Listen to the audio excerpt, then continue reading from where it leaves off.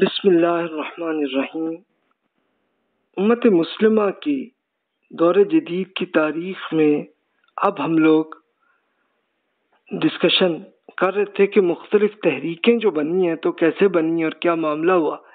پچھلے لیکچر میں تو پوری اوور ویو کیا تھا اور پھر ہم سیاسی تحریکوں پہ آئے تھے، جس میں سیکولر سیاسی تحریکیں اس کی بات ہوئی اور پھر روایتی علماء کی تحریکیں۔ اور عسکری تحریکوں کی بھی ہماری بات ہو گئی تھی، تو اب ہمارا آج کا ٹاپک ہوگا حکومت الہی اور اقامت دین اور خلافت کی تحریکیں۔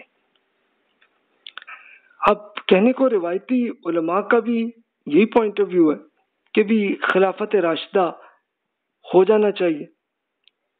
لیکن اقامت دین اور حکومت الہی کی تحریکیں وہ زیادہ منظم اور مختلف طریقوں سے زیادہ پھیلی۔ ہے تو فرق کیا ہوگا یہ ہم آگے دیکھتے ہیں۔ پچھلے لیکچر میں تو ہماری بات یہاں پہ آئی تھی، روایتی علماء کی۔ تب ہم آتے ہیں حکومت الہی کی تحریکیں۔ حکومت الہیہ یا اقامت دین، خلافت، نظام مصطفیٰ اور مدینہ منورہ کی حکومت۔ ایسی یعنی مقصد وہی کہ ایک یہ تحریکیں اس میں بنی کہ بے جناب ہماری حکومت بالکل ایسی ہونی چاہیے جیسی رسول اللہ صلی اللہ علیہ وسلم اور صحابہ کرام رضی اللہ عنہ جیسی خلافت راشدہ بنی تھی۔ تو یہ ان کے آبجیکٹو میں عرض کر دیتا ہوں۔ روایتی دینی سیاسی تحریکیں مسلک اور فرقے کی بنیاد پر قائم ہے جبکہ حکومت الہیہ والی تحریکیں خود کو فرقوں اور مسالک سے ماورہ قرار دیتی ہیں۔ تو تھوڑا سا فرق یہ ہے معمولی نہیں یعنی پچھلے لیکچر میں جن تحریکوں کی ہماری بات ہوئی تھی، جیسے مثال کے طور پر جمعیت علماء اسلام، جمعیت علماء ہند، جمعیت علماء پاکستان، جمعیت اہل حدیث، تحریک جعفریہ، تو یہ ہر ایک بیسیکلی اپنے مسلک اور فرقے کی بنیاد پر تھی۔ لیکن اب جن تحریکوں نے یہ حکومت الہیہ اور خلافت کے لیے تحریکیں بنی ہیں تو وہ کہتے ہیں کہ ہم کسی مسلک سے تعلق نہیں رکھتے۔ روایتی دینی سیاسی تحریکوں کا اصل مقصد اپنے مسلک کا سیاسی تحفظ ہے، جبکہ حکومت الہیہ کی تحریکوں کا مقصد اسلام کی بنیاد پر ایک کامل نظام قائم کرنا یعنی ان کا یہ آتا ہے کہ بھی اسلام میں پورا ایک نظام ہے، حکومت ایسی ہونی چاہیے۔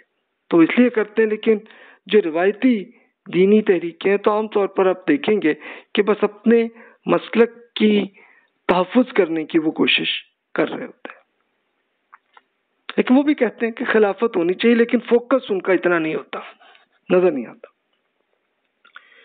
روایتی دینی سیاسی تحریکوں کے کارکن زیادہ تر دینی مدارس کے تعلیم یافتہ ہیں جبکہ حکومت الہیہ کی تحریکوں کے کارکن زیادہ تر جدید تعلیم یافتہ ہے ایک ہی آپ کو فرق فیل ہوگا۔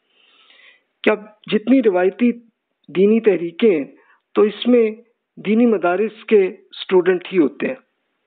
لیکن جو حکومت الہیہ کی تحریکیں اس کے جو کارکن ہیں، وہ زیادہ تر ماڈرن علوم پڑھے لکھے ہوتے ہیں۔ ایک یہ فرق آپ کو فیل ہوگا۔ روایتی دینی سیاسی تحریکوں کا اسلام سے متعلق نقطہ نظر وہی ہے کہ جو ان کے مسلک کے علماء اور اکابرین پیش کرتے ہیں۔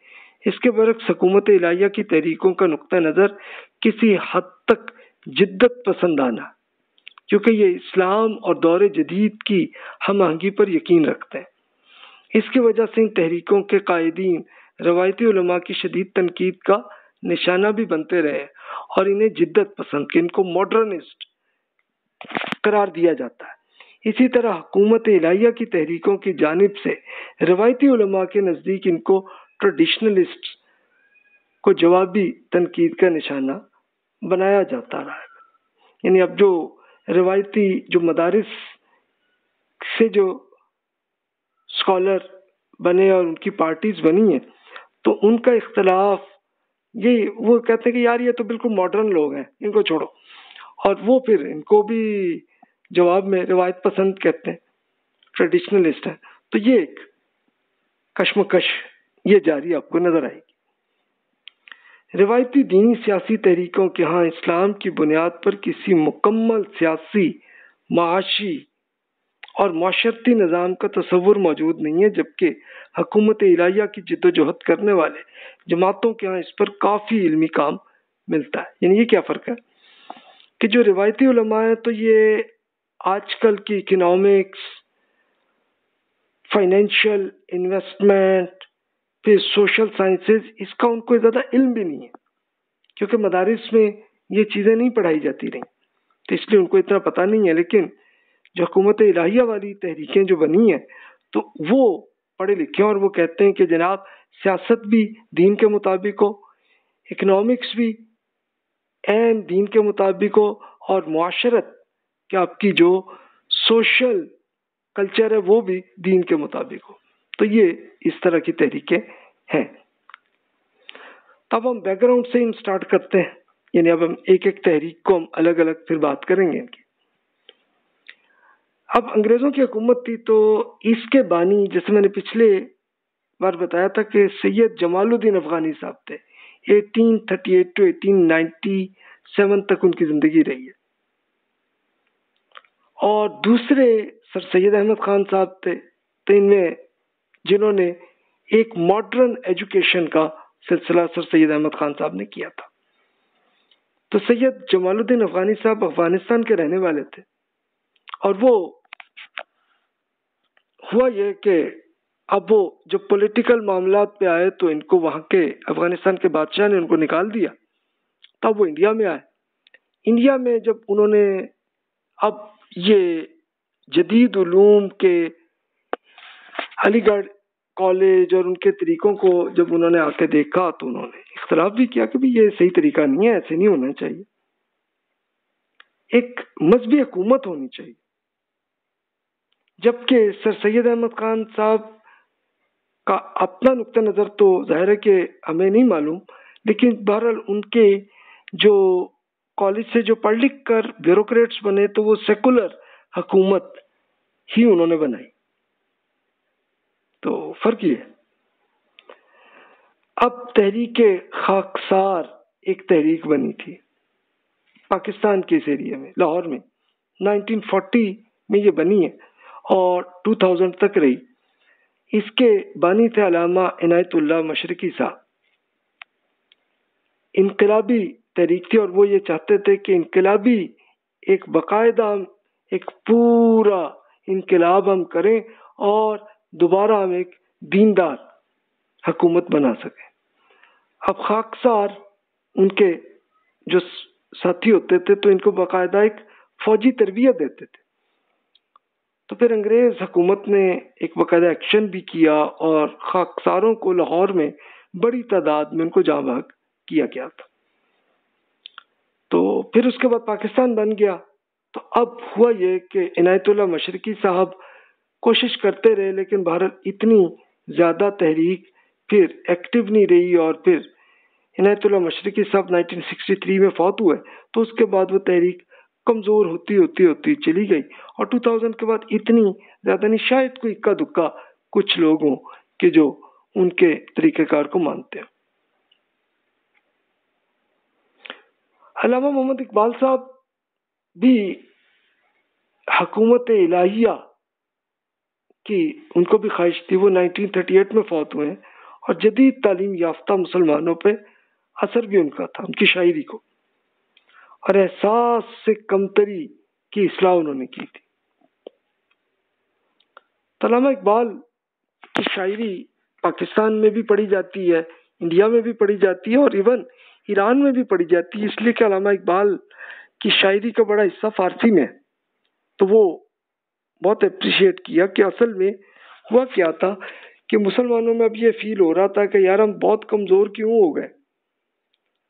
تو اب احساس کمتری کی حیرت یار ہماری تو حیثیت ہی کچھ نہیں ہے تو کچھ بھی نہیں ہے تو اس کو موٹیویٹ کرنے کے لیے علامہ محمد اقبال صاحب نے شاعری میں بہت زیادہ تفصیل سے کیا اور شاعری کا اس زمانے کا کلچر یہ تھا کہ یہی پورا ہٹ ہوتا تھا تو ان کی کچھ شاعری آپ کے سامنے عرض کر دیتا ہوں اور خود آپ اس میں فیصلہ کر سکتے ہیں نظر کو خیرہ کرتی ہے چمک تہذیب مغرب کی یہ سنائی مگر جھوٹے نگوں کی ریزا گاری ہے ریزا گاری وہ کہتے ہیں کہ بھی یہ جو جس پہ تم امپریس ہو رہے ہو مغرب سے مراد یورپ اور امریکہ، تو یہ تو بس ایک فراڈ ہی اور کچھ نہیں۔ ہے اقبال کو شک اس کی شرافت میں نہیں ہے۔ ہر ملک میں مظلوم کا یورپ ہے، خریدار۔ وہ طنز بھی کرتے ہیں کہ بھی اب دیکھیں یورپ جو چیزیں وہ بنا رہے ہیں، ان کی فیکٹریز میں وہ آ کے بیچ رہے ہیں آ کے ہمارے یہاں تدبر کی فسوں کاری سے محکم محکم ہو نہیں سکتا۔ جہاں میں جس تمدن کی بنا سرمایہ داری ہے۔ یورپ میں بہت روشنی، علم و ہنر ہے۔ حق یہ ہے کہ بے چشمہ حیواں ہے۔ یہ ظلمات، یہ علم، یہ حکمت، یہ تدبر، یہ حکومت پیتے ہیں، لہو دیتے ہیں تعلیم مساوات۔ ظاہر میں تجارت ہے، حقیقت میں جوا ہے۔ سود ایک کا لاکھوں کے مرگ مفاجات۔ ہے دل کے لیے موت مشینوں کی حکومت۔ احساس مروت کو کچل دیتے ہیں آلات۔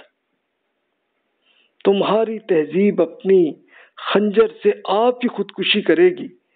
جو شاخ نازک پہ آشیانہ بنے گا نا پائیدار ہوگا۔ اصل میں یہ انہوں نے جو بڑی ایک طنز کیا کہ مشینوں کی حکومت چل گئی ہے، تو وہ اس کے بعد بھی ہے۔ اس کے لیے وہ بڑا اچھا ہے کہ علامہ اقبال جس زمانے میں زندہ تھے، تو اس زمانے کے لیے چارلی چپلن نے وہ فلم بنائی تھی کہ مشینوں میں کیسے کام ہوتا ہے۔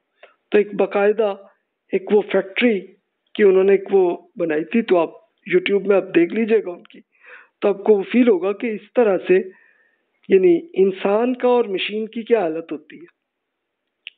تو ایک بڑی اچھی کامیڈی بھی انہوں نے کر دی۔ اچھا علامہ اقبال نے یہ جو کہا نا کہ یہ اب آپ ہی خودکشی کرے گی، تو یہ خودکشی کی انہوں نے علامہ اقبال جب فوت ہوئے ان سے اگلے سال، کہ سیکنڈ ورلڈ وار ہوئی تو پورا یورپ تباہ ہو گیا۔ لیکن وہ تو ہو گیا، لیکن امریکہ بچ گیا اور رشیا بھی بچ گیا۔ کہ رشیا میں تو تباہی ہوئی پڑی، لیکن پھر بھی اپنا بڑا حصہ وہ بچا لیا انہوں نے۔ انگریزوں میں بھی، امریکہ میں بھی تھوڑی تباہی ہوئی، لیکن میجورٹی بچ گئی اور انہوں نے پھر وہی چلایا سلسلہ۔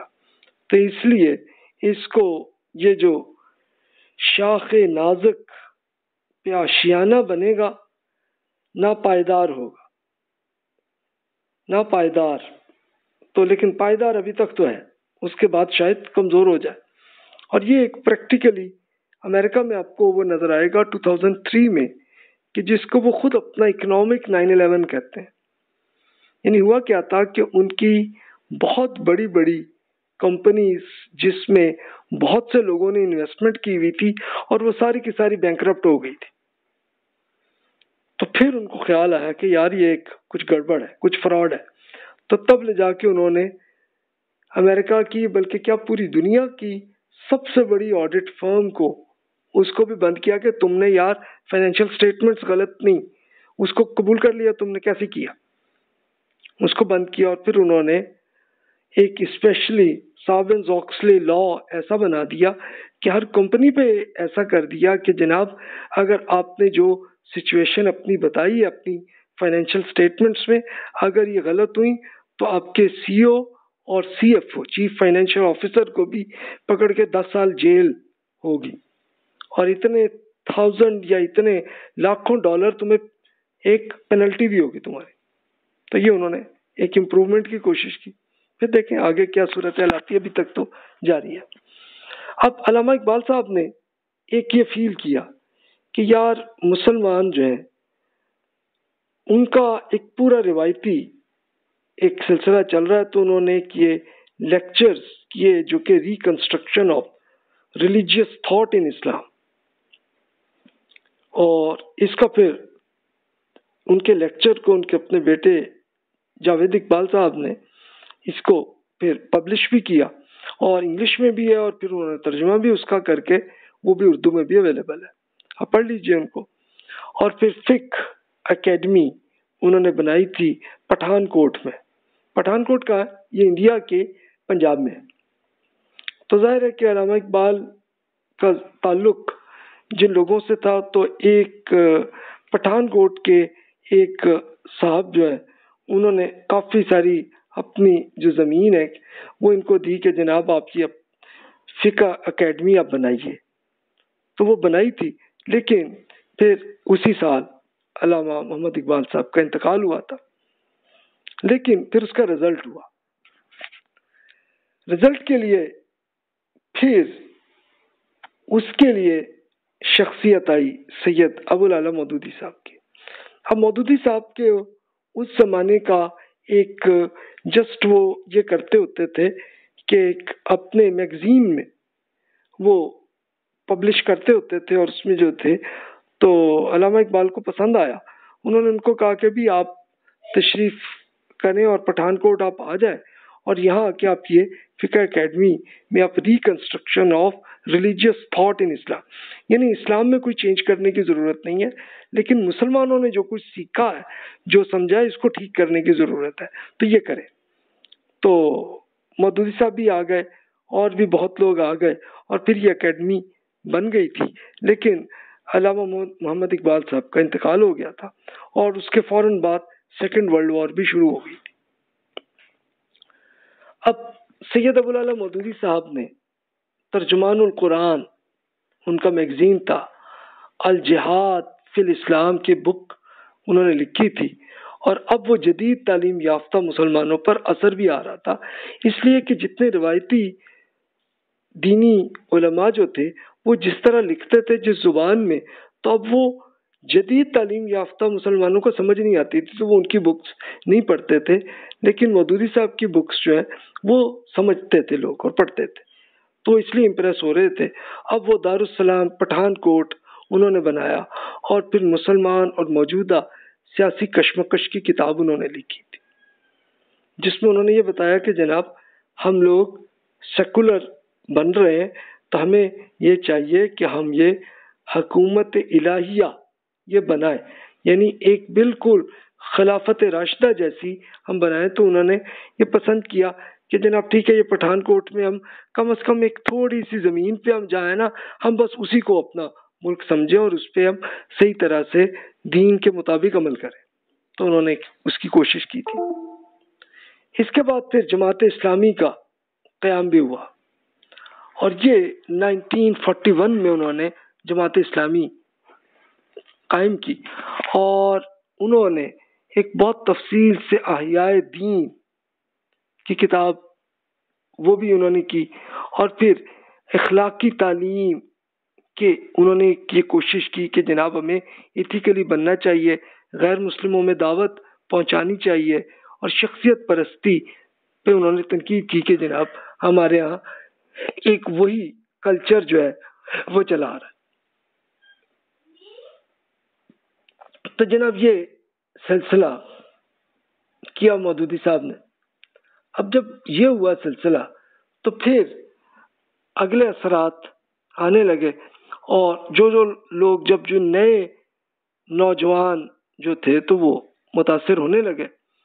اس زمانے میں سیکنڈ ورلڈ وار چل رہی تھی اور وہ معاملہ ہوتا چلا گیا اور یہ بھی میں عرض کروں کہ ایک بڑے scholar European scholars doctor Asad صاحب جو ہے وہ ایمان لائے تھے اور وہ ایکچولی تو یہودی فیملی کے تھے لیکن وہ پھر جب ایمان لائے تھے تو ان کو علامہ اقبال نے ان کو خط لکھا کہ بھی آپ بھی یہ فکر اکیڈمی پہ آپ آ جائیں اور یہ ریکنسٹرکشن آف اسلامک تھاٹ آپ کریں آ کے تو وہ بھی آ گئے تھے تو یہ خیر پٹھان کوٹ میں ہی تھے لیکن ہوا یہ معاملہ کہ این اس دوران پارٹیشن کا سلسلہ 1947 میں ہوا تو پٹھان کوٹ انڈیا میں آ گیا۔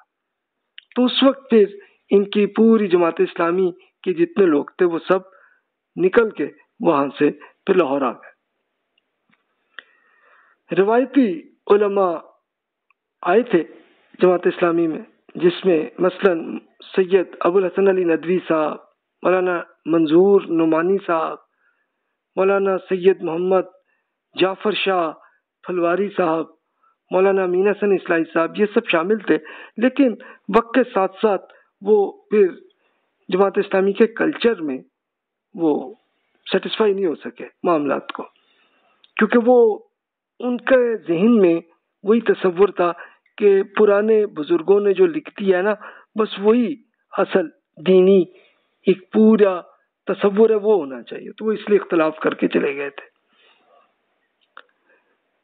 اب جماعت اسلامی نے ایک باقاعدہ، ایک آرگنائزڈ طریقے سے یہ معاملے کو کیا کہ جیسے ایک تعلیم و تحقیق، ایک ریسرچ اور ایجوکیشن نشر و اشاعت کی پوری پبلشنگ کا سلسلہ بھی کیا جائے، کتابیں بھی پرنٹ کی جائیں اور دی جائیں لوگوں کو۔ ایک باقاعدہ، ایک تنظیم بھی بنائی۔ مالیات، کچھ فنڈز کا بھی ایک الگ ڈپارٹمنٹ انہوں نے بنایا اور دعوت اور تبلیغ کا کام بھی وہ کر رہے تھے۔ تب جب ہوا یہ کہ پاکستان بنا تو اب جماعت اسلامی پاکستان میں آ گئی اور جو جماعت اسلامی ہند ہے وہ انڈیا میں رہ گئے۔ اب ہوا یہ کہ مدودی صاحب نے ایک باقاعدہ ایک تحریک ختم نبوت پہ بڑا احتجاج انہوں نے کیا تھا۔ این وہ زمانہ تھا کہ جب یہ معاملہ ہوا تھا کہ قادیانی حضرات نے چونکہ یہ کہا تھا کہ جناب غلام احمد قادیانی صاحب وہ نبی ہیں اور جو نہیں مانے گا تو وہ کافر ہے، تو اس پہ مسلمانوں میں بھی بڑا وہ آ رہا تھا کہ بھی ہمیں کیوں اب کافر کہہ رہے ہیں؟ تو وہ چل رہا تھا، تو اس میں تو پھر یہ ہوا کہ جماعت اسلامی نے بھی بڑی احتجاج کی تھی نائنٹین ففٹی تھری میں۔ تو اس میں پھر مولانا مودودی صاحب کو قید کر دیا اور ان پہ پھر موت کی سزا کا فیصلہ بھی آ گیا تھا۔ لیکن عرب ممالک تک ان کی دعوت پہنچی ہوئی تھی۔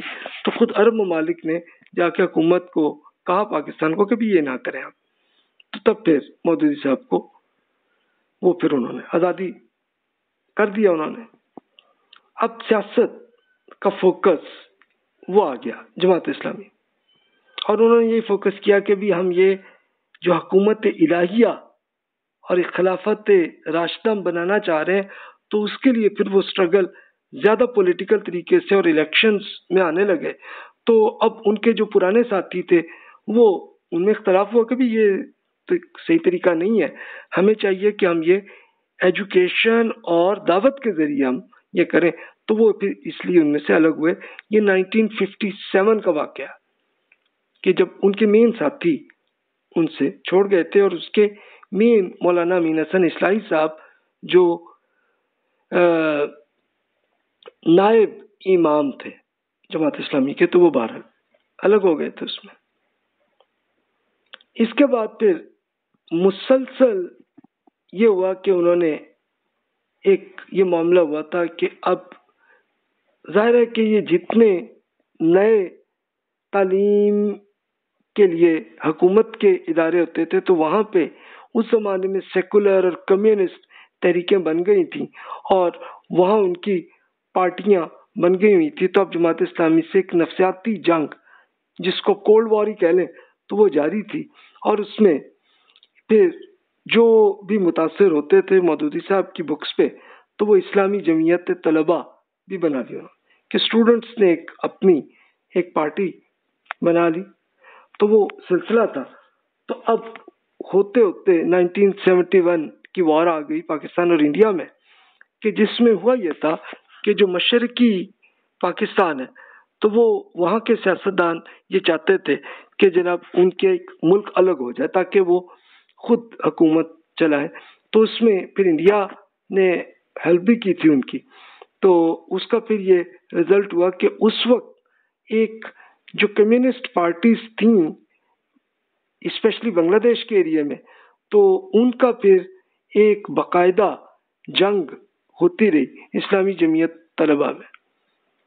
نائنٹین سیونٹی ون کی جنگ میں تو پھر اسلامی چھاترو سنگو یہ وہی اسلامی جمعیت طلبہ کا یہ ترجمہ ہے کہ بنگلہ زبان میں اس طرح۔ ان کی پارٹی تھی اور ان کی البدر کا انہوں نے پھر ایکشن بھی کیا تھا۔ ایک باقاعدہ اس جنگ میں مسلمانوں کی ملٹری کی پوری ہیلپ بھی کی تھی ان کی۔ لیکن ہوا یہ کہ اس میں پھر بہرحال بنگلہ دیش الگ ہو گیا۔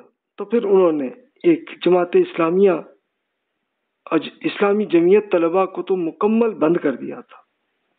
1979 ٹو 1991 میں سوویت یونین آ گئے تھے اور انہوں نے آ کے افغانستان میں معاملہ ہوا تھا۔ تو پھر اب فوکس آیا۔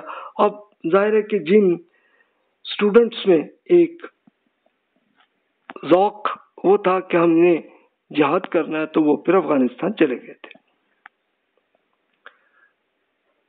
مودودی صاحب 1972 میں ریٹائر ہو گئے اور پھر انہوں نے زیادہ علمی کام پہ کیا اور تفہیم القرآن جو تفسیر کی کتاب ہے انہوں نے تفصیل سے اس زمانے میں لکھی۔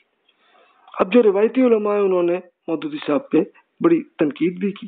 تو آپ خود انہی کی بکس میں آپ پڑھ سکتے ہیں، میں اس میں کچھ کہنے کی ضرورت نہیں ہے۔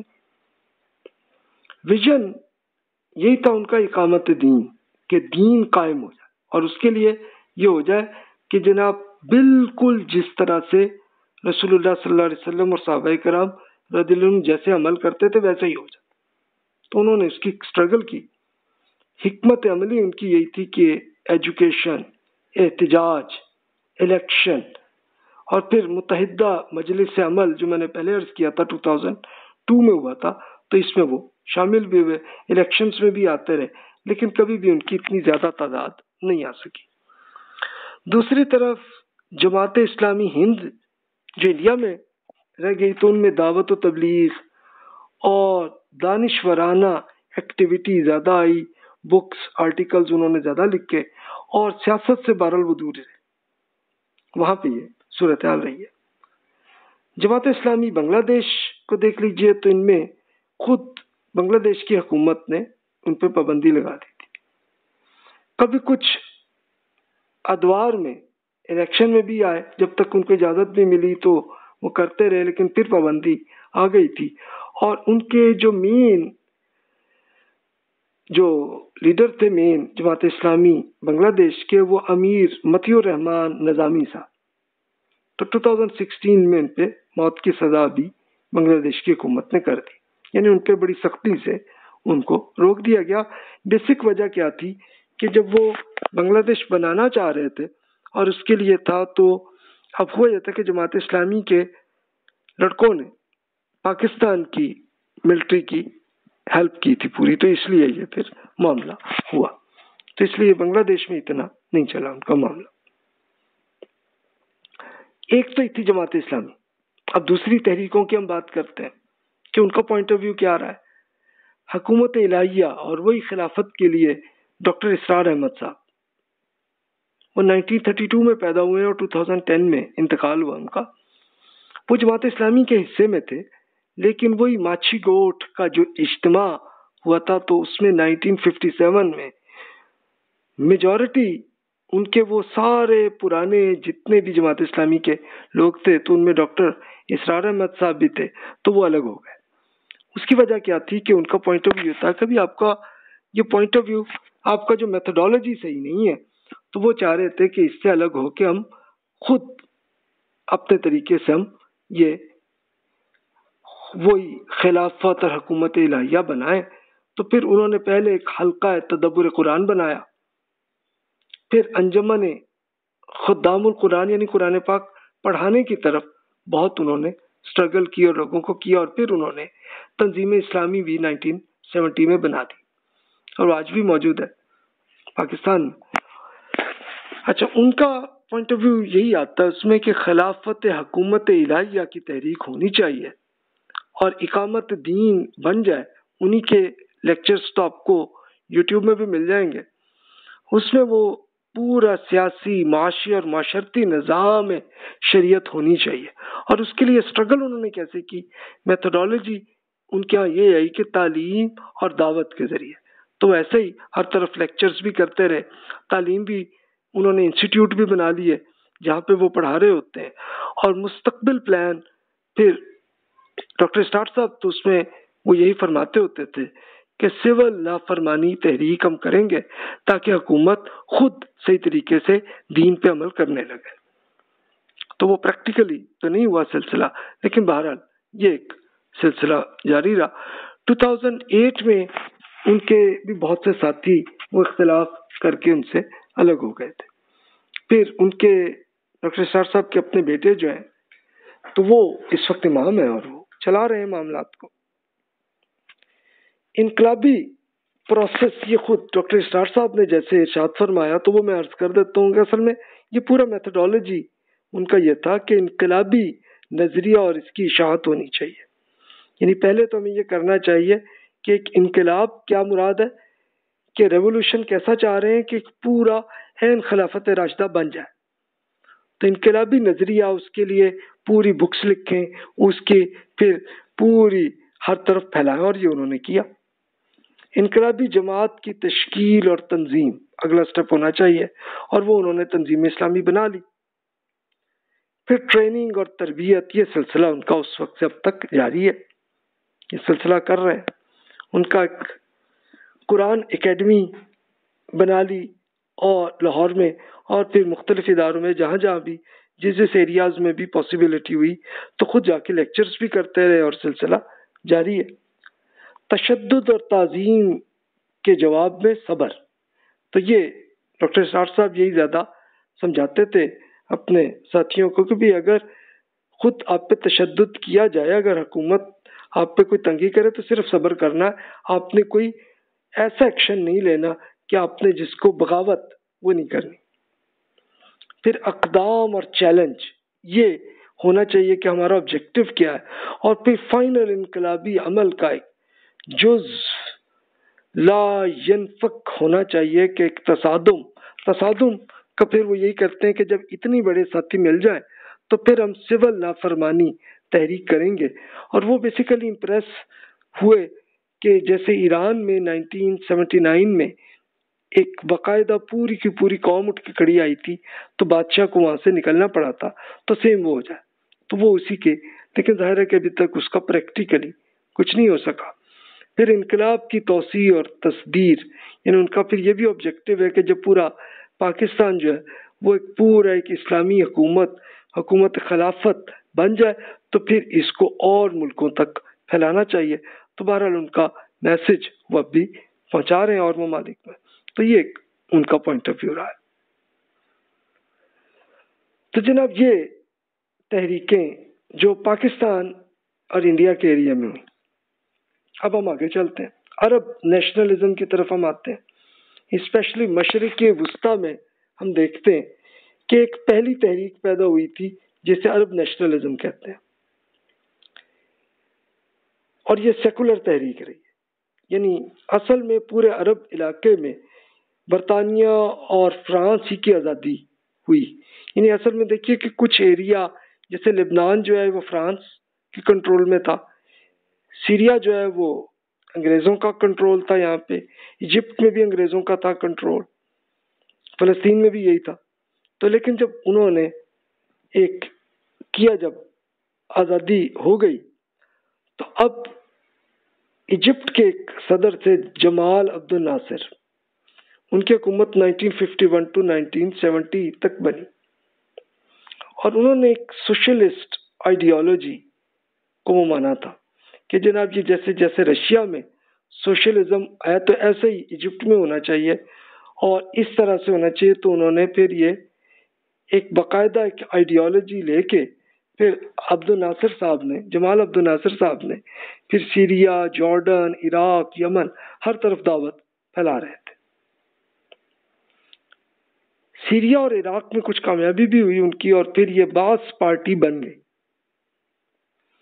اب یہ کئی ممالک کے یہ سارے پھر صدر اکٹھے ہوئے اور ایک مشترک ملک ہونی چاہیے۔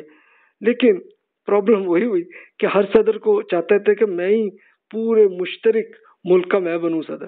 تو آپس میں، اسی میں پھر آپس میں بننے کی ناکام کوشش ہو گئی کہ جو کوشش تو تھا اس پورے کو ایک ملک بنا دیں لیکن کوئی بھی نہیں مانے، سارے تو سب الگ ہو گئے۔ اب وہ دین، سوشلزم اور نیشنلزم کو اکٹھا کرنے کی کوشش تھی ان کی۔ یعنی انہوں نے دین کا انکار نہیں کیا، بلکہ لیکن سوشلزم اور نیشنلزم اس کو اکٹھا کرنے کی بہرحال ایک کوشش کر کے ایک درمیان سے آیا اور پھر ان کی یہ جو عرب نیشنلزم ایجپٹ میں زیادہ آیا تو لوگوں نے یہ بھی ان کے جو ساتھی تھے، وہ کہنے لگے، ہم تو فرعونوں کی اولاد ہیں ہم تو۔ کہ آخر ظاہرہ کہ فرعونی کے زمانے میں ایجپٹ دنیا کے سپر پاور تھے۔ تو وہ یہ کہنے لگے۔ اب ہوا یہ کہ عرب، اسرائیل کی جنگ ہوئی تھی نائنٹین سکسٹی سیون میں، جس میں اس پورے ایریا میں ایجپٹ سیریا لبنان جارڈن سب نے مل کے اسرائیل سے جنگ کی تھی۔ لیکن تین ارب نیشنلزم سارے ممالک یہ سب عرب نیشنلزم کے ساتھ، فلسفے کے ساتھ کر رہے تھے اور ہر طرف شکست ہوئی۔ تو آپ یہ امیجن کریں یا میپ میں آپ کو نظر آئے گا، یہ سینائے پیننسولا یہ جو ایریا ہے جس کو ہم اردو میں سینا کہتے ہیں، یہ وہ یہ ایریا آپ کا۔ یہ پورا، یہ ایجپٹ کا حصہ لیکن یہ اب اسرائیل کے ہاتھ میں آ گیا۔ غازہ غزہ۔ غزہ کا ایریا بھی ایجپٹ میں تھا، یہ بھی اسرائیل میں آ گیا۔ ویسٹ بینک ویسٹ بینک سے مراد کہ یہاں پہ یہ اس کو ہم ڈیڈ سی کہتے ہیں۔ ڈیڈ سی کا یہ جو مغرب کا ایریا یہ جارڈن کا تھا، یہ بھی اسرائیل کے ہاتھ میں آ گیا۔ اور گولان ہائٹس کہ یہ تھوڑا سا ایریا یہ سیریا کا حصہ تھا تو یہ بھی اسرائیل میں آ گیا۔ یعنی اس طرح سے عرب نیشنلزم کی پوری ناکامی آ گئی سامنے۔ کہ اصل میں جنگ کیا آئی تھی؟ کہ اسرائیل کیوں بنا تھا؟ کہ سیکنڈ ورلڈ وار میں یہودیوں نے ایک باقاعدہ فرانس اور انگلینڈ کے ساتھ معاہدہ کیا تھا کہ جناب ہم آپ کی پوری ہیلپ کریں گے، آپ پلیز ہمیں بھی ایک پورا یہودی ملک تو بنا دینا تو انہوں نے کہا تھا، ٹھیک ہے جی اگری کر لیا تھا ان سے۔ تو اب ہوا یہ تھا کہ خود جرمن وہ یہودیوں پہ بہت فوکس کر رہے تھے اور بہت بری طرح قتل کر رہے تھے۔ مثلا ڈاکٹر اسد صاحب، وہ تو ایمان لا کے مسلمان ہو گئے تھے، لیکن ان کی جو فیملی ان کے والد، بھائی بہن، وہ یہودی تھے، تو وہ سب سیکنڈ ورلڈ وار میں جرمن ملٹری کے ہاتھوں قتل ہوئے تھے جام بک ہوئے تھے۔ اسد صاحب انڈیا آ گئے ہوئے تھے، لیکن ان کو بھی انگریزوں نے کہا کہ یار یہ بھی کہیں ادھر ان کے ایجنٹ نہ ہو، انہوں نے ان کو پکڑ کے جیل میں بند کر دیا تھا۔ تو وہ جیل میں رہے، لیکن نائنٹین فورٹی فائیو میں جب جنگ ختم ہوئی تو تب ان کو آزاد کر دیا تھا۔ تو وہ پٹھان کوٹ میں آ گئے تھے۔ وہی جو فقہ اکیڈمی جو علامہ اقبال نے بنائی تھی، تو مودودی صاحب کے ساتھ ہی تھے۔ اور پھر جب پارٹیشن ہوئی تو وہ پاکستان آ گئے تھے۔ حالت تو یہ تھی۔ اسرائیل کے لیے پھر انگریزوں نے اور امریکہ نے بھی کہا، بھی ٹھیک ہے، ان کے لیے کرو۔ تو ایک چھوٹا سا حصہ جو آج کل کا اسرائیل ہے، یہ نہیں تھا، بلکہ بہت تھوڑا سا یہ جو یلو کلر ہے، یہ تھا اصل میں اسرائیل۔ لیکن نائنٹین سکسٹی سیون کی وار میں پھر تو یہ ہوا کہ انہوں نے اتنا سارا حصہ، یہ سارا کچھ ایجپٹ سے لے لیا، کچھ انہوں نے جارڈن کا لے لیا، کچھ سیریا کا لے لیا اور لے کے اسرائیل پھیل گیا۔ رزلٹ یہ ہوا۔ اچھا پھر یہ میں عرض کروں کہ اس کے بعد پھر نائنٹین سیونٹی تھری کی وار بھی ہوئی تھی۔ اس میں پھر ایجپشنز نے بہت بری طرح جو ہے اسرائیل کو مارا تھا۔ اور ایٹ دا اینڈ یہ ہوا کہ پھر امریکہ نے اس میں یہی کیا کہ چلو بھی تم یہ جنگ کو ختم کرو، آپس میں سکون سے رہو۔ اور تب یہ یہ جو سینا ہے، دوبارہ انہوں نے ایجپٹ کو دے دیا تھا۔ اور انہوں نے یہ طے کیا تھا، ٹھیک ہے جی ہمارا اب آپ سے کوئی جنگ نہیں ہوگی۔ تو یہ معاہدہ کر لیا تھا اسرائیل سے۔ اس لیے پھر وہ معاملہ اس کے اب کی صورت حال ہے، جو آج کل آ رہی۔ پھر جارڈن کو بھی امریکہ نے سمجھا دیا اور انہوں نے بھی یہ جو ویسٹ بینک ہے، یہ بھی چھوڑ دیا۔ ٹھیک ہے بھی۔ لیکن پھر اب ریسنٹلی یہ معاملہ ہوا کہ خود فلسطینی کافی کوشش کر رہے تھے تو کہا کہ ٹھیک ہے بھی اتنا تک تم جو ہے نا اپنی حکومت بنا لو تو وہ ابھی ان کی حکومت چل رہی ہے۔ تو یہ صورتحال۔ تو یہ تو عرب معاملات تھے تو وہاں کی حکومت کے یہ معاملہ تھا، لیکن اب یہ اخوان المسلمون ایک تحریک بنی اور یہ بالکل ویسی ہی ہے کہ جیسی پاکستان انڈیا کے ایریا میں جماعت اسلامی بنی۔ اس کے بانی تھے Hassan al Banna. Nineteen zero six میں وہ پیدا ہوئے اور نائنٹین فورٹی نائن میں انتقال ہوا ان کا۔ یہ سید جمال الدین افغانی کی بکس انہوں نے پڑھی تھی اور ان کے اثرات تھے۔ جمال الدین افغانی صاحب اصل میں اس زمانے میں مسلمانوں کو موٹیویٹ کر کے یہ کر رہے تھے کہ بھائی تم یہ کوشش کرو اپنے آپ کو دیکھے دوبارہ ایک دینی حکومت آپ کی بن جائے۔ تو وہ موٹیویٹ کر رہے تھے۔ اور انہی سے متاثر علامہ اقبال بھی ہوئے تھے۔ جو بڑے متاثر ہوئے تھے اور انہوں نے کچھ شاعری میں جمال الدین افغانی صاحب کی بڑی تعریف کی ہوئی ہے۔ تو سیم ایسے حسن البنا۔ اچھا یہ یاد ہوگا جمال الدین افغانی صاحب کی جب ہم نے اسٹڈی کی تھی۔ تو ان پہ تو یہ ہوا تھا کہ کئی بار افغانستان والوں نے نکالا۔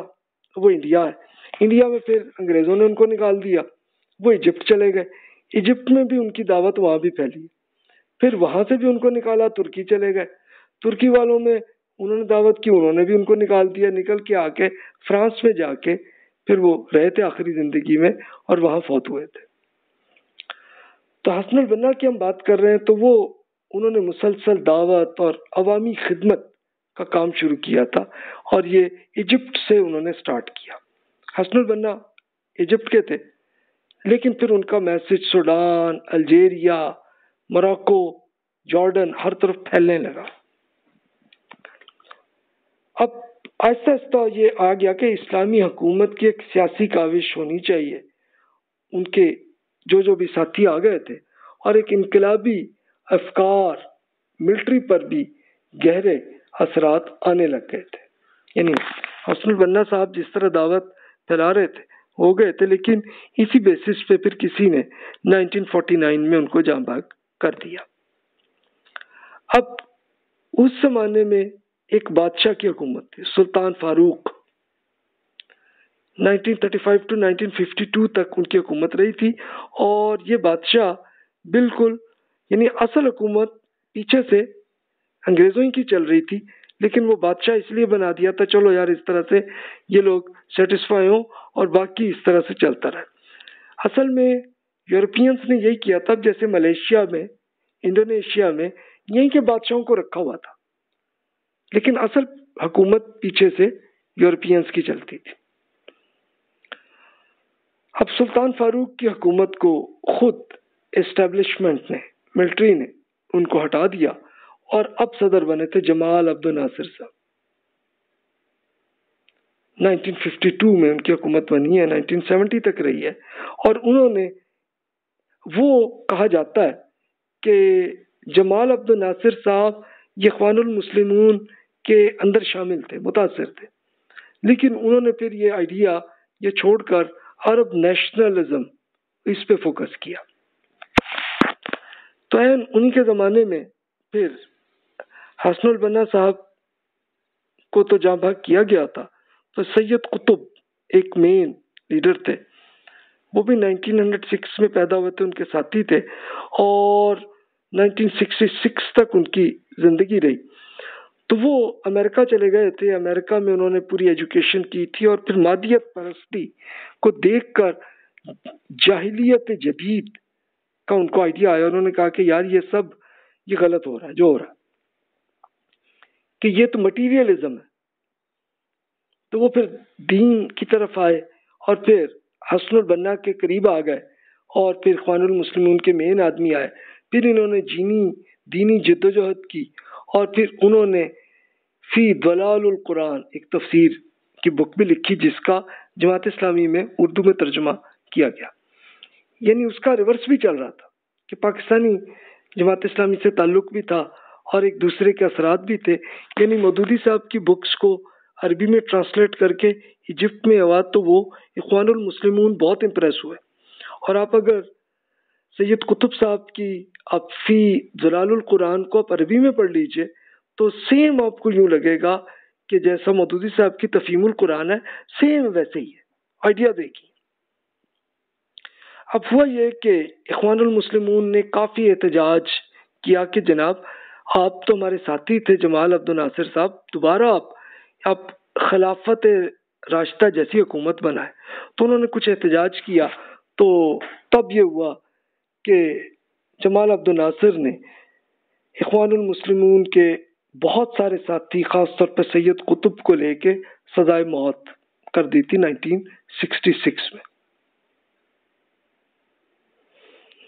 پھر اس کے بعد ہوا یہ کہ سید قطب اگلے سال اسرائیل سے جنگ کر بیٹھے اور بری طرح وہاں پہ یعنی یا ان کے اگلے پھر تو رزلٹ یہی ہوا اس کا کہ جمال عبد الناصر کی یہ جو آئیڈیا ان کی تحریک تھی، عرب نیشنلزم وہ بھی فنا ہو گئی۔ اب ہوا یہ کہ خوان المسلمون کے جو جو بھی ساتھی رہ گئے تھے، تب نئے جو صدر بنے ایجپٹ کے انور سادات 1970 ٹو 1981 تک کی حکومت رہی ہے۔ تو اس میں اخوان المسلمون کی دعوت زیادہ پھیلتی چلی گئی اور پھر 1973 میں اسرائیل کے ساتھ دوبارہ جنگ ہوئی تھی ایجپٹ کی۔ تو اس میں اخوان المسلمون نے باقاعدہ ایک جہادی کلچر کے ساتھ وہ بھی انہوں نے ایجپٹ کی ملٹری کی بڑی مدد کی تھی اور اس میں شامل رہے تھے وہ۔ لیکن ہوا کیا؟ ہوا کیا کہ پھر یہ جنگ میں چلے، ہوا یہ کہ انور سادات صاحب کی حکومت نے یہ سینا، یہ دوبارہ آ گیا۔ کافی حد تک انہوں نے اسرائیل سے فتح کر لی تھی، لیکن اب امریکہ نے جب روک دیا تو رک گئے اور پھر یہ ایگریمنٹ بھی انہوں نے اسرائیل سے کر لیا کہ ٹھیک ہے جناب کوئی بات نہیں، ہم آپ کو اب کچھ نہیں کہیں گے، ہماری تم چیز جو ہے نا، ہماری زمین چھوڑ دو۔ تو چھوڑ دیا اسرائیل نے بھی، اور وہ آ گیا معاملہ۔ لیکن اب پھر یہ ہوا کہ خوان المسلمون میں ایک بڑا غصہ تھا کہ ہم نے تو جہاد کیا بھائی۔ پھر یہ خلافت راشدہ پھر نہیں آئی۔ تو انہوں نے ایک پھر الگ الگ گروپس الگ ہو گئے۔ اب اخوان نے تو یہی کہا تھا کہ بھی نہیں بھی، ہم ایک دوبارہ دعوت اور یہ کریں گے، تو ہم وہی کریں گے، لیکن نہیں بھی۔ تب پھر ایک الگ ان کی پارٹیز بنی، التکفیر والہجرہ۔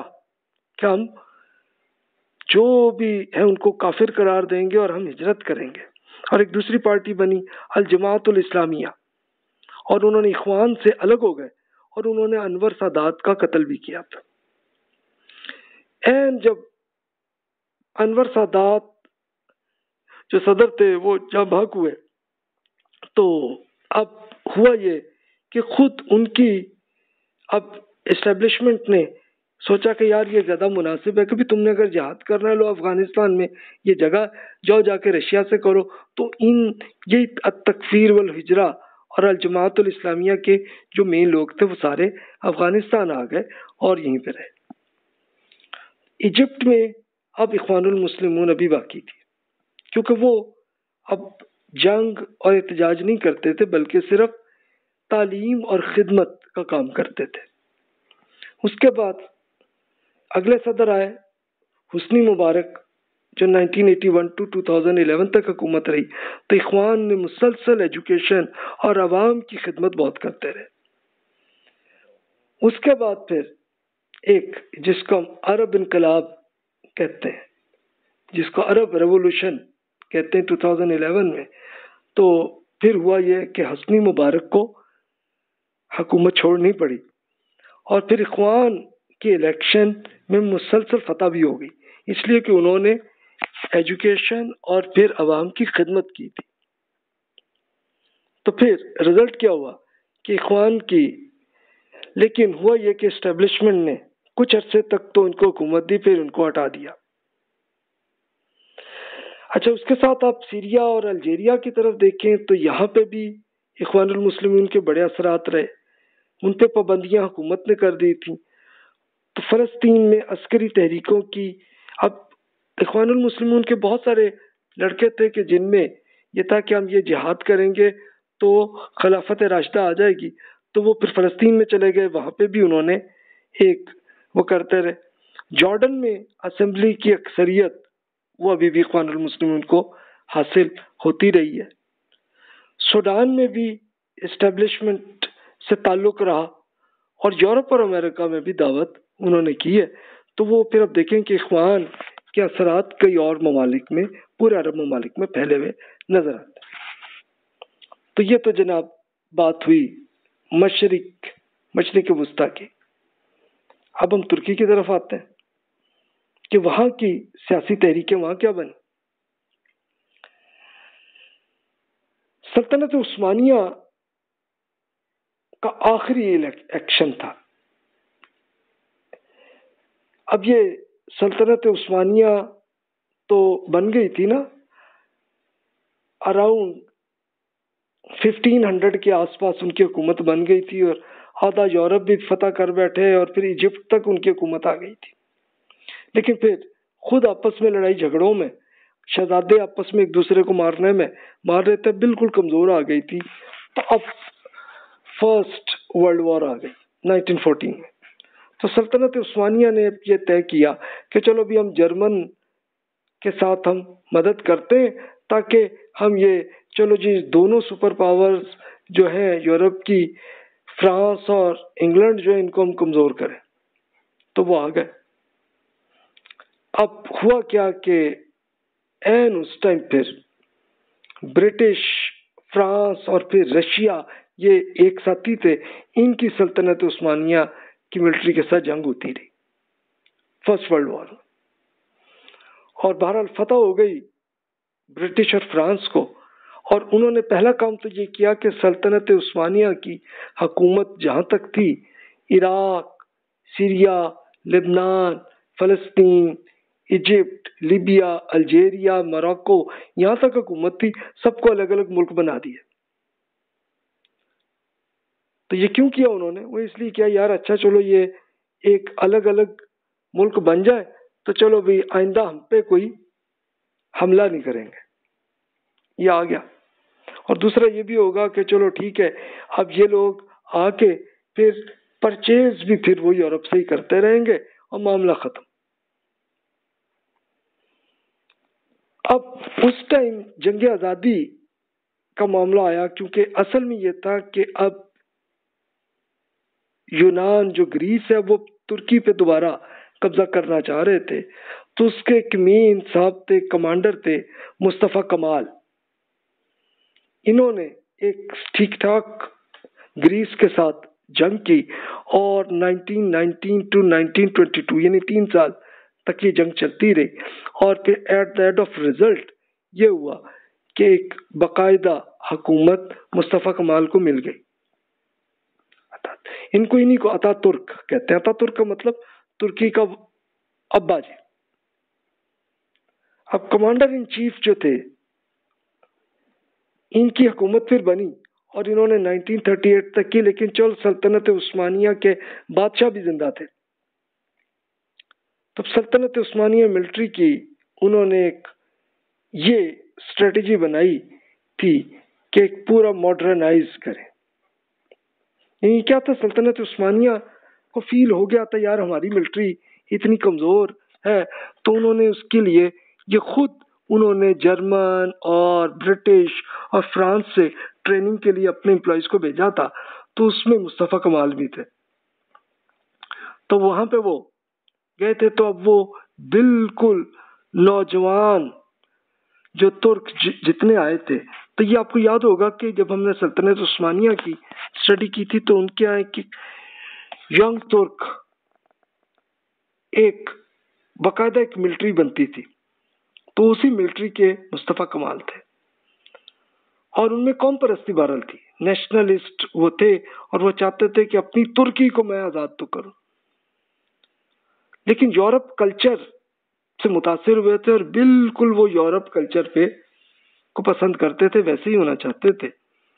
تو اب ہوا یہ کہ جب مصطفیٰ کمال نے ترکی کو آزاد کر دیا اور گریس کی ملٹری کو نکال دیا، تو اب پھر یہ ہوا کہ پھر انہوں نے یہ طے کیا کہ یہ سلطنت عثمانیہ اس کی خلافت سب ختم کروں نائنٹین ٹوینٹی فور میں انہوں نے کیا۔ اور ساتھ ہی انہوں نے یہ بھی کیا کہ باقاعدہ آئین یہ بھی بنا دیا کہ سیکولرزم کا ایک جبری فروغ انہوں نے کر دیا کہ جناب بالکل سیکولر رہو اس کی وجہ کیا آتی کہ سلطنت عثمانیہ میں ایک مذہبی کلچر تھا، کیونکہ وہ خلیفہ کہلاتے تھے نا اپنے آپ کو۔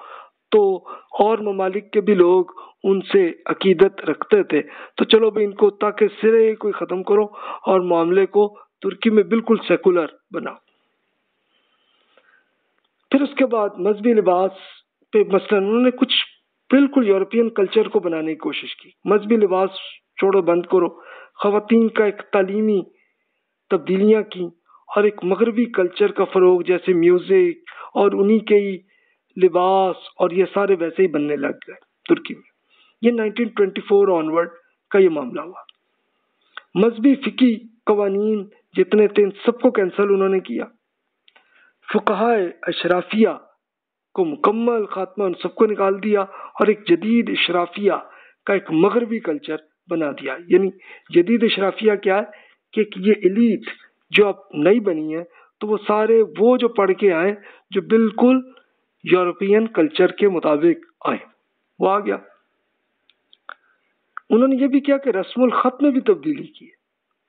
اسکرپٹ انہوں نے پہلے ترکی زبان کا وہ عربی میں تھا، لیکن اب انہوں نے رومن حروف میں کرنا شروع کیا۔ پھر انہوں نے یہ بھی آرڈر دیا کہ اذان، نماز اور قرآن کی زبان میں بھی آپ ترکی زبان میں کریں۔ تو وہ بھی انہوں نے تبدیلیاں کی۔ پھر مدارس اور خانقاہیں جو مذہبی لوگوں کی ہوتی تھیں، اس پہ پابندی کر دی۔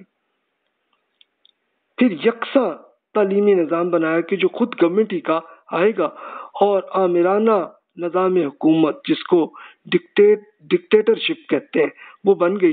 یعنی یہ بالکل وہی کلچر انہوں نے بنا دیا جو رشیا میں سوویت یونین نے جیسا بنایا تھا، تو سیم وہی کلچر انہوں نے کر دیا۔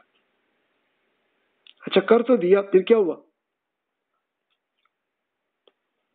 پھر اس کے بعد ترکی کی دینی سیاسی تحریکیں شروع ہو گئی یعنی مذہبی لوگ تو تھے نا ترکی میں۔ وہ کیا کرتے؟ انہوں نے ایک بدی و زما سعید نورسی صاحب تھے، جو ایٹین سیونٹی تھری میں پیدا ہوئے اور نائنٹین سکسٹی تک ان کی زندگی رہی۔ انہوں نے دور جدید کے مسائل پر کتابیں لکھی اور تفسیر قرآن انہوں نے لکھی اپنی ترکی زبان میں اور تعلیم اور شاگردوں پہ بڑے اثرات آنے لگے تھے۔ انہوں نے مذہب اور سائنس کی ہم آہنگی کرنے کی کوشش کی تھی کہ بھی یہ سائنس پہ اب سب متاثر ہیں، اس کا دین سے کوئی ایشو ہی نہیں ہے، کوئی پرابلم نہیں ہے۔ اور پھر انہوں نے عقل اور دین کا تعلق وہ قائم کرنے کی کوشش کی اور کمالسٹ حکومت کا جبر رہا۔ اب یہ کمالسٹ کسے کہتے ہیں؟ یہ مصطفیٰ کمال کی جو پارٹی کے لوگ تھے کہ جو جبر کر رہے تھے۔ تو انہوں نے بہرحال جبر ان پہ بھی کیا، سعید نورسی صاحب پہ بھی کیا۔ مثلا عصمت عصمت صاحب کا کریک ڈاؤن کر دیا گیا تھا، یہ ایک ان کے مین لیڈر تھے۔ 1938 ٹو 1950 تک ان کو جیل میں رکھا۔ یہ عصمت صاحب جو ہے یہ سوری، عصمت انونو ڈکٹیٹر یہ اصل میں مصطفیٰ کمال کے بعد اگلے صدر تھے ترکی کے۔ تو انہوں نے یہ پورا ایکشن کیا تھا اور سعید نورسی صاحب جیل میں رہے۔ لیکن جبر کے باوجود مسلسل دعوت اور تعلیم وہ کرتے رہے۔ پھر اس کے بعد پھر ان کے اگلے مین ایک جو مشہور شخصیت ہے فت اللہ گولن صاحب 1941 میں پیدا ہوئے۔ ہیں آج تک وہ حیات ہیں۔ تو یہ ان کی تحریک وہ زیادہ چلنے لگی۔ پھر اخوان المسلمون اور جماعت اسلامی کی کتابوں کا بھی جیسے مثال کے طور پر تفہیم القرآن کا ترکی میں ترجمہ ہوا اور عوام پہ اثرات آنے لگے کہ یار ہم لوگ تو بہت سیکولر ہو گئے ہیں، دین کو بالکل ہی چھوڑ بیٹھے ہیں، اس کی طرف آئے۔ کمالسٹ پارٹی میں بھی ایک اصلاح ہوئی، انہوں نے ان کو بھی آئیڈیا آیا، یار ہم نے بہت شدت پسندی کی، اس کو کم کریں۔ اور پہلے اکنامکس کی آزادی بھی انہوں نے کی، یہ تھے وزیر اعظم ترک اوزال، ترگت ترگت اوزال۔ 1989 ٹو 1993 تک ان کی حکومت رہی ہے۔ تو انہوں نے ایک بڑی اصلاح کی، اصل میں پورے وہی جو کمیونسٹ طریقے کے مطابق انہوں نے ترکی کو چلایا تھا، تو انہوں نے اس کو بالکل اکنامکس کو اوپن کیا، آزادیاں دی تو پھر اس کا رزلٹ یہ ہونے لگا کہ ان کی اکانومی بہتر ہونے لگی۔ ورنہ ترکی کا آپ یہ امیجن کریں کہ نائنٹین نائنٹی میں ہم بچپن میں ہی نائنٹین ایٹیز میں ہم سنتے ہوتے تھے کہ بھی ترکی میں تو اگر ایک روٹی آپ نے کھانی ہے نا، تو اس کے لیے آپ کو تھری ملین لیرا آپ کو چاہیے۔ کہ یہ حیثیت تھی ان کی اکانومی کی۔ کیونکہ کمیونزم جیسا رشیا کو تباہ کر چکے تھے، پھر اسی طرح جاپان چائنا کو کر چکے تھے۔ سیم ترکی میں بھی ہو گیا تھا، لیکن اب یہ، اب ترگت اوزال نے امپرومنٹ کی کی تو اب آ کے پھر یہ ہوا کہ ایک طرف دینی اعتبار سے بھی ایک آزادی آنی شروع ہوئی اور اس کے ساتھ ساتھ دوسری طرف بھی آنے لگے۔ ملی گورش نورسی تحریک، وہ آئی۔ سرمایہ کاری بھی انہوں نے انویسٹمنٹ بھی کی schools universities T V channels وہ بنائے تو ان کی دعوت زیادہ پھیلنے لگی۔ مذہبی سیاستدانوں کی عوامی خدمت بھی وہ کرتے رہے۔ ان کی پارٹیز بنی سعادت پارٹی، انصاف و ترقی پارٹی، اے کی پی۔ یہ ظاہر ترکی زبان میں اور طرح کی ہوگی۔ میں نے اس کا ترجمہ کیا ہوا ہے۔ مجھے ترکی زبان نہیں آتی، میں نے انگلش میں اس کا دیکھا تھا اور اس کو ایسے ترجمہ میں نے اردو میں کر لیا اس کا۔ تو یہ پارٹیز ان کے ہاں آنے لگی اور وہ آنے لگی تو خاص طور پہ انصاف و ترقی پارٹی آئی اور اس کے مین آدمی ہیں جو آج کل ترکی کے وزیر اعظم ہیں۔ Tayyip Erdogan.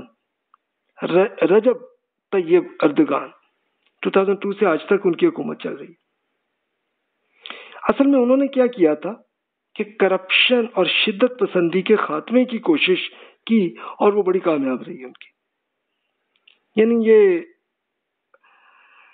رجب طیب اردگان صاحب جو ہیں وہ متاثر اصل میں سید نورسی اور پھر فت اللہ گولن صاحب سے متاثر ہے اور انہوں نے پھر یہ کیا کہ جناب یہ جو تم نے زبردستی قبضہ کر کے کہ پوری ڈکٹیٹرشپ کی ہے، اس کو ختم ہونا چاہیے اور اب ہمیں ہم سکون کے ساتھ ہم دین کی دعوت تو پھیلا سکے نا اور لوگوں کی خدمت بھی کریں۔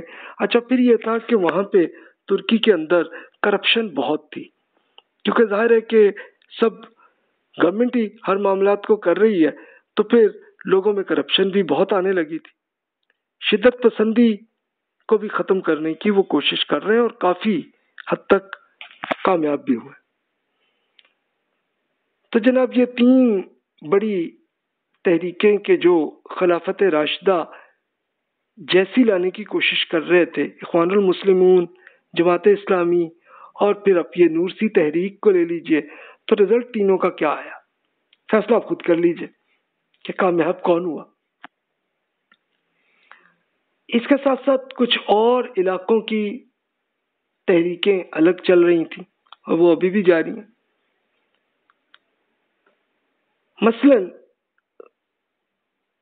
ہم یہ مختلف ایریاز میں آپ کو ایک جسٹ یہ یاد رہے کہ وسط ایشیا کے اندر ایرانی سلطنت کا خاتمہ جب ہوا تھا، مغلوں نے تباہی کی تھی مسلمانوں کی۔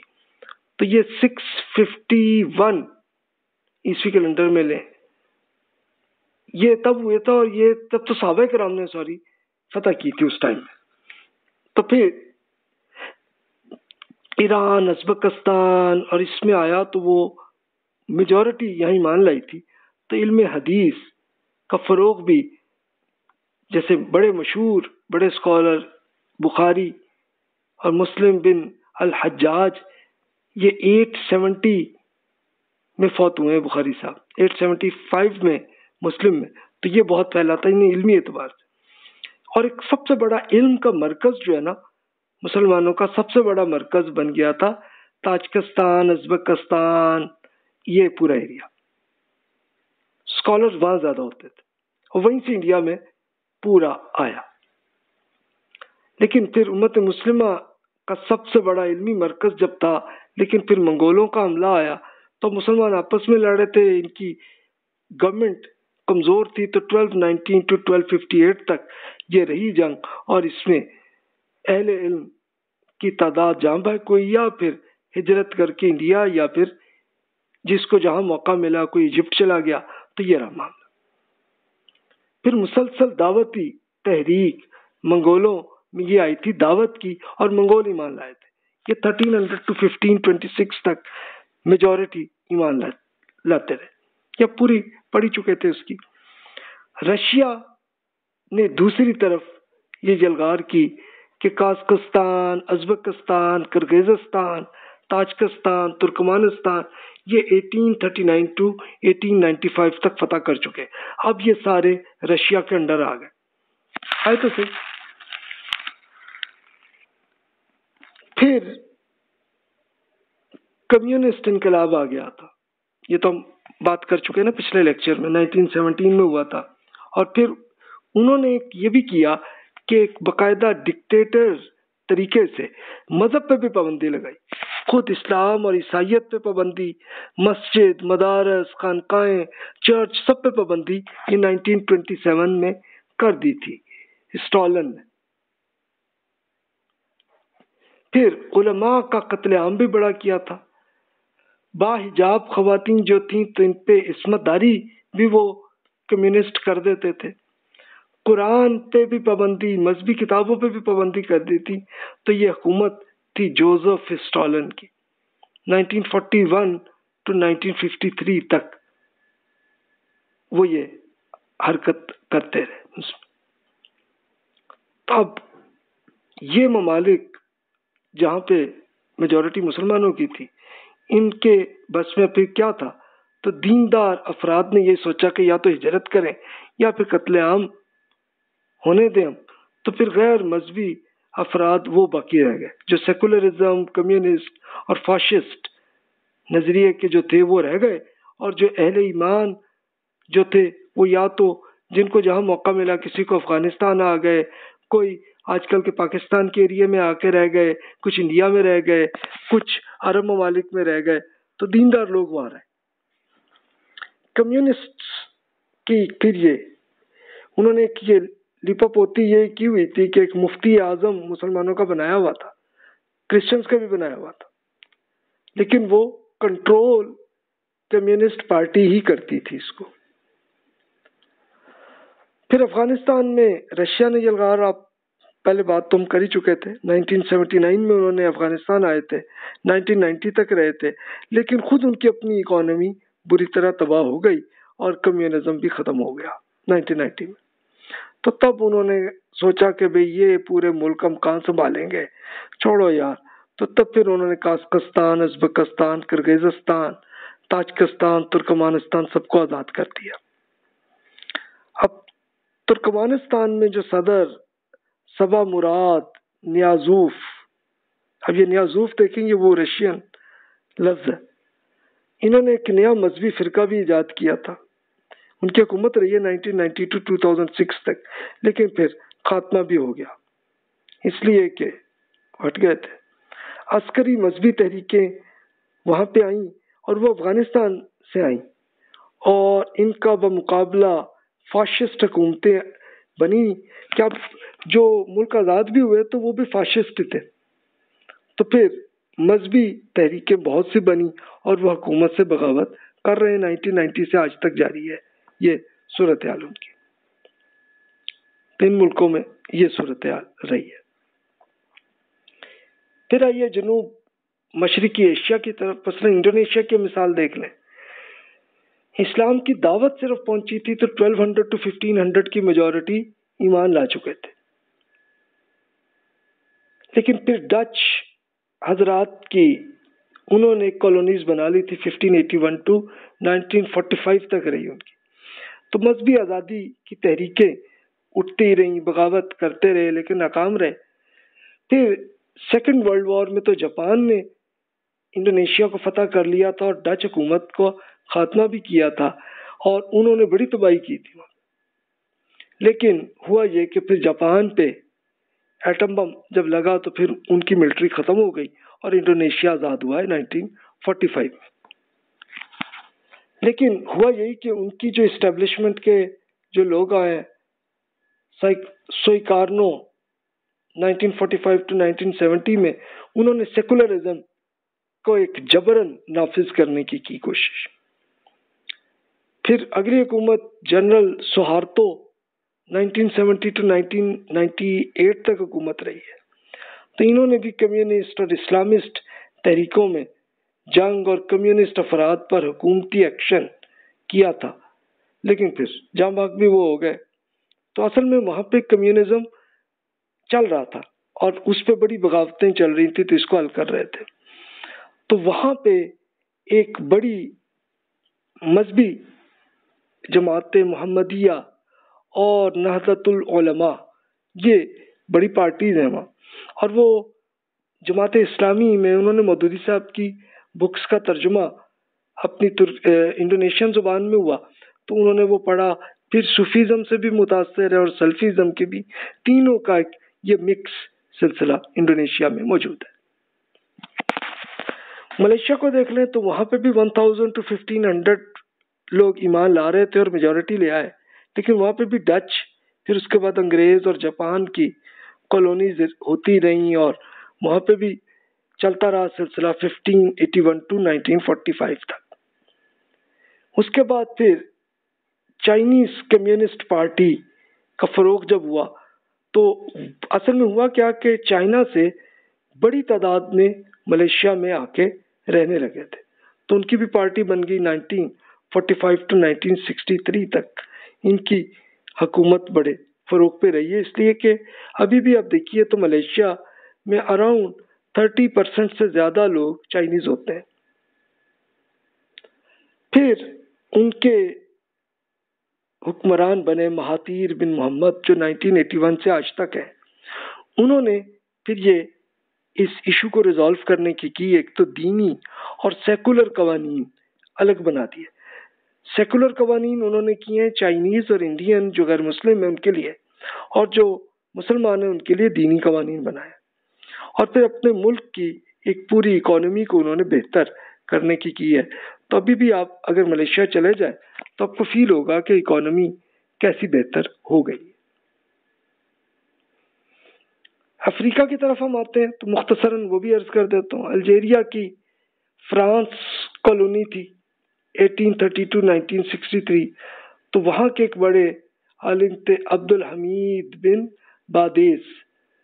نائنٹین فورٹی میں جہاں بھک ہوئے ہیں، تو ان کی الجیرین علماء تحریک انہوں نے بنائی تھی، وہ آج بھی موجود ہے مسلمانوں کی اصلاح اور آزادی کی تحریک وہ کرتے رہتے آزادی کے بعد فرنچ سیکولر حکومت وہی جاری ہوئی ہے اور ان کی اسٹیبلشمنٹ الجیریا میں جاری ہے۔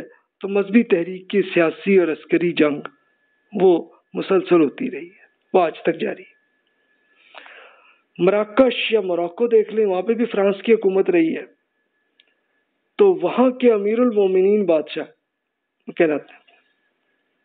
اور جمعیت الجماع وہاں کی ایک پارٹی ہے، جو سلفی اور صوفی ازم کا مکس ہے۔ اسلامی ریاست کا ٹارگٹ کر کے وہ بھی کوشش کر رہے اچھا انہی کے شدت پسند لوگ تھے جنہوں نے ایک الگ پارٹی بنائی تھی۔ حزب الحرکت الشعبہ الدستوریہ اد یہ انہوں نے آ کے سعودی عرب میں آ گئے اور پھر انہوں نے حرم شریف میں مکہ مکرمہ میں قبضہ بھی کر لیا تھا نائنٹین سیونٹی نائن۔ لیکن بہرحال گورنمنٹ نے پھر ایکشن لیا اور پھر ان کو پھر پکڑ لیا تھا۔ تو ان کے بہرحال بھی جو باقی مراکوں میں ہوں گے تو ابھی بھی ہوں، رہتے ہوں گے۔ اور کچھ نہ کچھ چل رہا ہوگا معاملہ۔ لیبیا کو دیکھیے تو وہاں پہ سنوسی تحریک تھی، ایک بڑے سنوسی جو امام مہدی ہونے کا دعویٰ انہوں نے کیا تھا، لیکن پھر اٹلی کالونی بن گئی تھی، nineteen eleven to nineteen forty three میں۔ اس کے بعد پھر کرنل قذافی کی حکومت رہی، nineteen seventy to two thousand eleven تک کی۔ تو پھر وہ ایک پورا جبر کا پیریڈ رہا اور گرین بک انہوں نے لکھ دی تھی۔ یہ کرنل قذافی صحابی کی کتاب ہے۔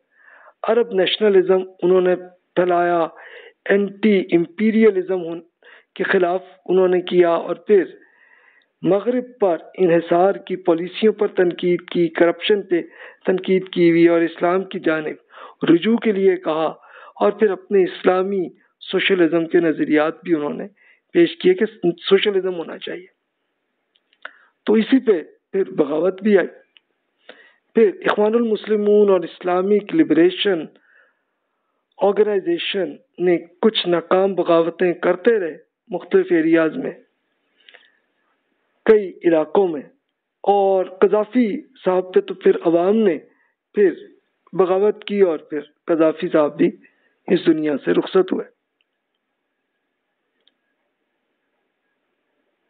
تو اخوان المسلمون اور اسلامک لبریشن آرگنائزیشن نے کئی چھوٹے چھوٹے ایریاز کے جہاں پہ مسلمان ہوتے ہیں، یوگنڈا، وسطی افریقہ، فلپین، جنوبی تھائی لینڈ انڈونیشیا اور آئرلینڈ۔ یہاں پہ ان کی حق تحریکیں بنتی رہی ہیں، بغاوت کرتی رہی ہیں، کامیابی نہیں ہوئی۔ عرب انقلابی تحریک یہ 2011 میں ہوئی تھی کہ جس میں آپ کو یاد ہوگا کہ یہ تو تیونس سے یہ واقع ہوا تھا۔ یہاں پہ بھی فرانس کی حکومت ہی رہی تھی۔ 1881 ٹو 1956 تک کہ سیکولرزم وہاں پہ تھی۔ مذہبی جبر رہا اس میں اور فرینچ کلچر کی، اور بادشاہ نے تو روزہ چھوڑنے کا حکم دیا تھا کہ روزہ نہیں کیا کرو۔ فرانس کی زبان ہی چلتی رہی۔ مذہبی طریقے جو جو بھی، مثلا اخوان المسلمون، وہ بھی تھے، ان پہ بھی تشدد ہوتا رہا۔ اور اس کے بادشاہ حبیب برقیبہ 1956 ٹو 1987 تک رہی۔ وہاں کے ایک بڑے تعلیم اور تبلیغ کے ایک اسکالر راشد غنوسی 1941 میں وہ پیدا ہوئے تھے۔ آج حیات ہیں۔ انہوں نے پھر مدودی صاحب کی، حسن البنا کی، سید قطب صاحب کی، محمد قطب صاحب کی، مالک بنابی صاحب کی اور پھر علامہ محمد اقبال صاحب کی بھی نظریات سے متاثر ہوئے اور انہوں نے ایک جماعت الاسلامیہ ایک سیاسی تحریک بھی بنا دی۔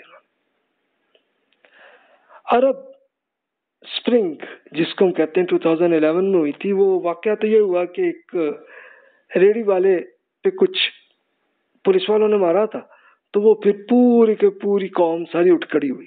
اچھا ایک بندے کے کہنے پہ تو نہیں آئی ہوں گی، بلکہ وہ اصل میں پہلے ہی اپنی حکومت سے متاثر نہیں تھے۔ تو پھر جماعت الاسلامیہ کی حکومت بن بھی گئی 2011 تیونس میں۔ اور اسی کو عرب سپرنگ سے پھر ایجپٹ میں بھی ہوا کہ وہاں کے بھی جو حسنی مبارک کو حکومت چھوڑنی پڑی، جو کہ ڈکٹیٹر ہی تھے وہ بھی۔ لیبیا میں بھی ایسی بغاوت وہاں پہ بھی چل رہی تھی موراکو میں بھی چل رہی تھی۔ سوڈان کے اندر آئیے تو وہاں دیکھیے کہ وہاں برٹش کالونی رہی ہے وہ eighteen ninety two nineteen fifty three میں۔ وہاں اسلامک ازم اور کمیونزم اور سوشلزم کی جنگیں چلتی رہی ہیں۔ غفار محمد نمیری صاحب ایک ملٹری کے تھے تو ان کی حکومت رہی ہے۔ Nineteen sixty nine to nineteen eighty nine میں انہوں نے اسلامائزیشن کا فوجی ایکشن کیا تھا اور سزائیں بھی جو دین میں ہیں تو ان کو انہوں نے ایکشن کروایا تھا۔ لیکن سوڈان میں بھی یہ ہوا کہ کرپشن جاری رہی اور وہاں کی اکنامکس کی تباہی ہوتی رہی اور اس میں پھر یہ امریکہ ہی سے مدد لیتے رہے۔ پھر اس کے بعد مذہبی بنیاد پر خانہ جنگی کا ایک پیریڈ رہا۔ 1996 ٹو 2011 میں۔ اصل میں وہ یہ تھا کہ سوڈان کا ایک حصہ ساؤتھ سوڈان کی میجورٹی کرسچنز ہے تو وہ چاہ رہے تھے کہ ہماری آزادی ہونی چاہیے۔ تو پھر 2011 میں ہو گیا اور ساؤتھ سوڈان الگ ہو گیا۔ یہ واقعہ دیگر مسلم ممالک میں دیکھ لیجیے آپ، تو ہر طرف آپ کو وہی نظر آئے گا اسٹیبلشمنٹ کی حکومت ہی چل رہی ہے۔ یا بادشاہت ہے اور پردے میں حکومت کوئی کر رہے ہیں، چاہے وہ سیاست دان ہوں، مذہبی لیڈرز ہوں جاگیردار ہوں، جو بھی ہوں، تو وہ اصل میں اصل میں اسٹیبلشمنٹ پیچھے سے انہی سے ہی کروا رہی ہوتی کا مذہبی علماء اور سیاست دانوں کی آپس میں مسلسل جنگیں چلتی ہیں۔ وہ کیوں چلتی ہیں؟ کہ اس کے لیے ہر کوئی چاہتا ہے کہ یار، چلو اسٹیبلشمنٹ ہمیں تو وزیر اعظم تو بنائے نا۔ تو وہ اس چکر میں آپس میں مسلسل جنگیں جاری ہیں۔ تو جناب، یہاں پہ ہم اس کو، معاملے کو یہاں تک دیکھ لیتے ہیں، ہم آخری بات ایران پہ کرتے ہیں۔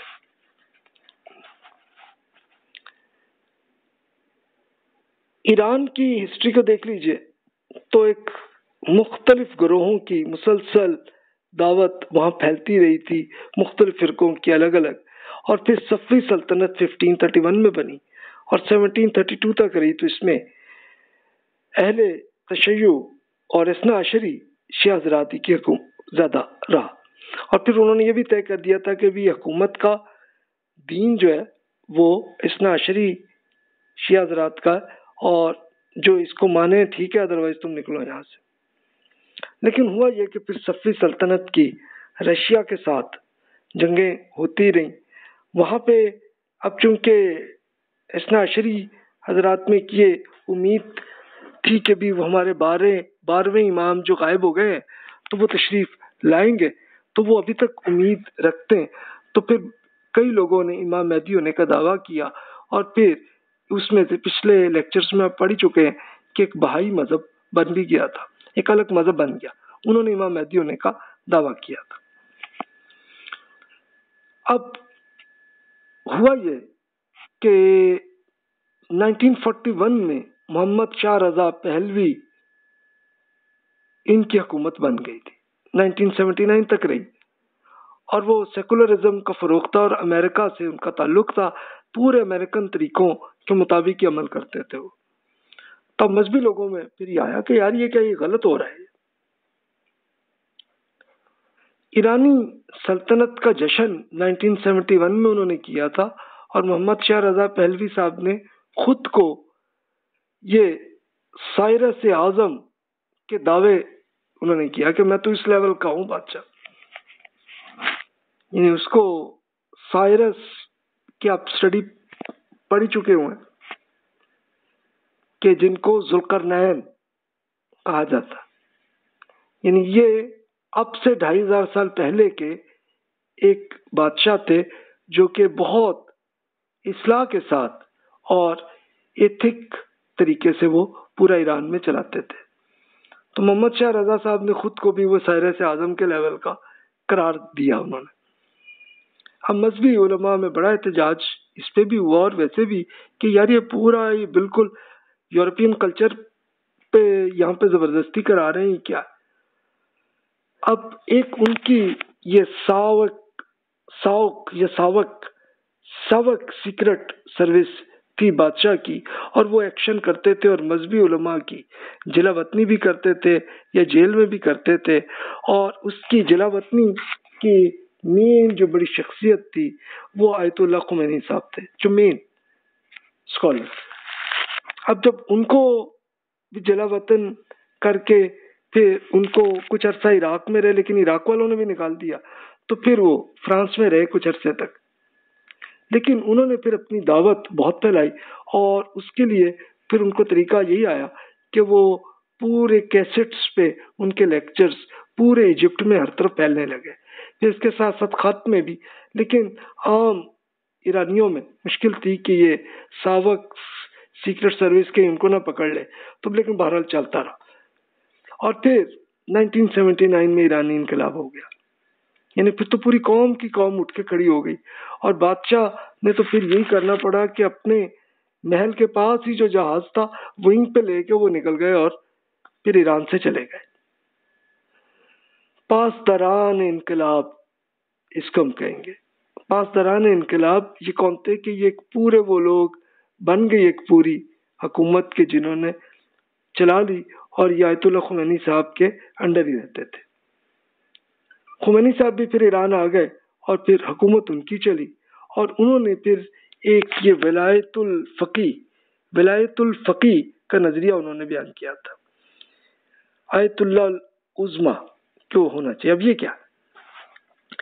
یعنی شیعہ حضرات کا پوائنٹ آف ویو یہ ہے کہ جی امام ہی کیوں حق ہے کہ وہ حکومت میں آئے، ورنہ عام آدمی کو حکومت کی اجازت نہیں ہونی چاہیے۔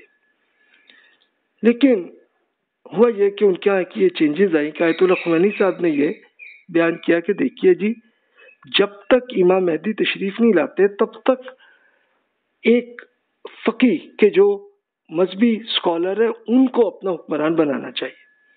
اور انہوں نے آیت اللہ العظما کو یہ ہونا چاہیے یعنی یہ اب ایران کے اندر جو سب سے بڑے عالم بنتے ہیں اور وہ پروموٹ ہوتے ہوتے آیت اللہ بنتے ہیں تو آیت اللہ العظما ان کو قرار دیتے ہیں۔ تو وہ خمینی صاحب تھے۔ خمینی صاحب نائنٹین ایٹی نائن تک ان کی حکومت رہی۔